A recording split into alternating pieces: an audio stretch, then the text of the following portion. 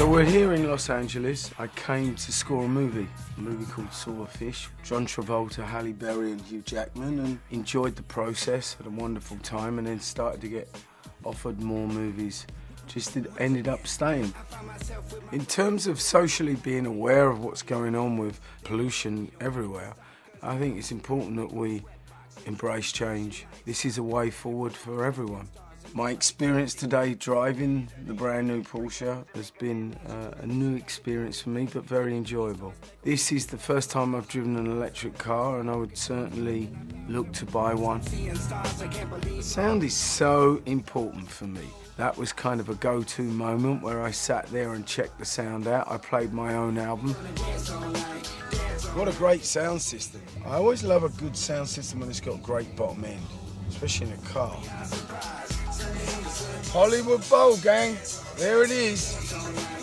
For me, being asked in 2003 to be the first electronic artist DJ to play at the Bowl was a great moment.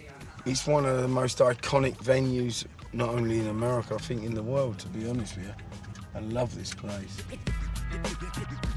So I'm going to take you to one of my favourite places. This store, for me, the record parlour, in the heart and soul of Hollywood, is very unique. I find records here of all genres of music. The store's got character, so uh, let's go. Let's go and have fun. Saturday afternoon, and we're in Hollywood. I'm really enjoying driving this car. Really smooth, comfortable. It feels spacious as well. Very easy to drive. And in this city, there's so much going on when you're driving around.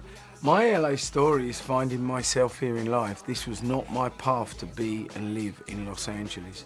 I'd never scored a movie in my life, and this opportunity came, and I jumped in with both feet, and it led me to stay here. And as I say, we all probably will get three or four big opportunities in life, and I advise you to take them.